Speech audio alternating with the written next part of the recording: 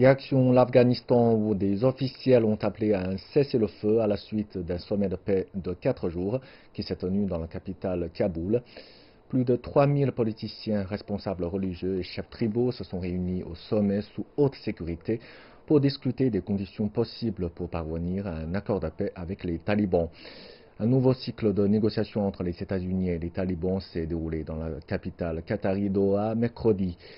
Les deux points clés à l'ordre du jour étaient le retrait potentiel des forces américaines de l'Afghanistan en échange d'un cessez-le-feu de la part des talibans.